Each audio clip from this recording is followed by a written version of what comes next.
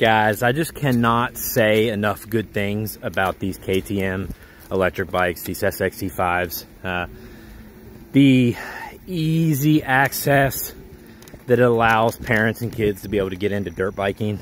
Um, yes, they're not cheap as far as that kind of easy access, but the fact that, you know, Weston's been riding this thing since Christmas.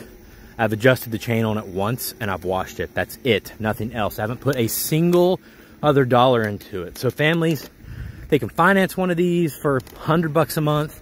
And besides plugging it up to the wall, you know, keeping tires on it, which take forever to wear out, you're not putting any more money into these things. Uh, Weston loves it. It's not loud. It's not hot. It's uh, doesn't vibrate. Uh, he feels he feels comfortable on it. It gives him confidence.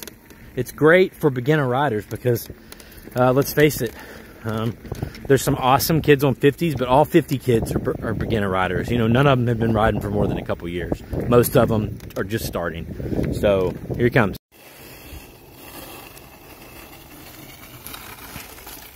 What are you stopping for?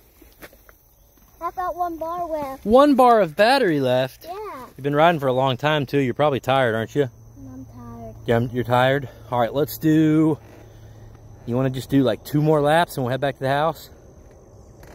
Um, do, you want to do two laps? Yeah, we'll both do two more laps and we'll cool down on the Husky HC4 and then we'll, I'll grab my sunglasses. We'll head back to the house. Okay. Two laps and meet me over at the start, okay? Okay. All right, good luck. Let's start where you get down. Let's start where you get down from a to do to turn track. Yes, because you want to uh, you want to finish your 4K YouTube video, right? Mm -hmm. All right, so just do two more and I'll meet you over there. Two more laps. Yep. Okay. All right, good luck.